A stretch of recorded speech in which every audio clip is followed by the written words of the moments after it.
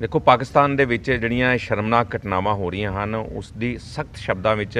The press club of Amritsar ਵੱਲੋਂ ਨਿਖੇਧੀ ਕਰਦੇ ਆ ਔਰ ਜਿਨ੍ਹਾਂ ਨੇ ਇਹ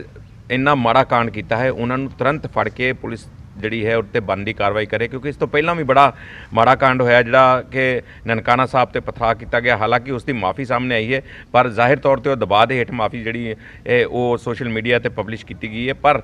ਜਿਸ ਤਰ੍ਹਾਂ ਦੀਆਂ ਘਟਨਾਵਾਂ ਹੋ ਰਹੀਆਂ ਹਨ, ਬੜੀਆਂ ਸ਼ਰਮਨਾਕ ਘਟ- ਘਟਨਾਵਾਂ ਹੋ ਰਹੀਆਂ ਹਨ, ਹੁਣ ਪੱਤਰਕਾਰ, ਜਿਹੜੇ ਸਿੱਖ ਪੱਤਰਕਾਰ, ਪਹਿਲੇ ਪੱਤਰਕਾਰ ਸਨ, ਉਹਨਾਂ ਦੇ ਭਰਾ ਤੇ ਜਿਹੜਾ ਹਮਲਾ ਕਰਕੇ ਇੱਕ ਪੱਤਰਕਾਰ ਜਿਹੜਾ ਸ- ਭਾਈਚਾਰਾ ਹੈ ਉਸ ਨੂੰ ਨਿਰਾਸ਼ਾ ਇਸ ਨਾਲ ਪਹੁੰਚੀ ਹੈ। ਔਰ ਪੂਰੀ ਤਰ੍ਹਾਂ ਨਾਲ ਅਸੀਂ ਨਿਖੇਧੀ ਕਰਦੇ ਹਾਂ ਔਰ ਅਪੀਲ ਕਰਦੇ ਹਾਂ ਪਾਕਿਸਤਾਨ ਸਰਕਾਰ ਨੂੰ, ਭਾਰਤ ਸਰਕਾਰ ਨੂੰ ਕਿ ਇਸ ਮਾਮਲੇ ਤੇ ਤੁਰੰਤ ਕੋਈ ਨਾ ਕੋਈ ਸਖਤ ਕਾਰਵਾਈ ਕੀਤੀ ਜਾਏ। ਨਹੀਂ ਤੇ ਜੇ ਇਹ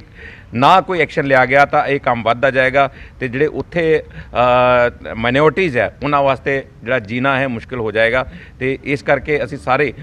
ਸਖਤ ਸ਼ਬਦਾਂ ਵਿੱਚ ਇੱਕ ਵਾਰ ਫੇਰ ਇਸ ਦੀ ਨਿਖੇਧੀ ਕਰਦੇ ਹਾਂ।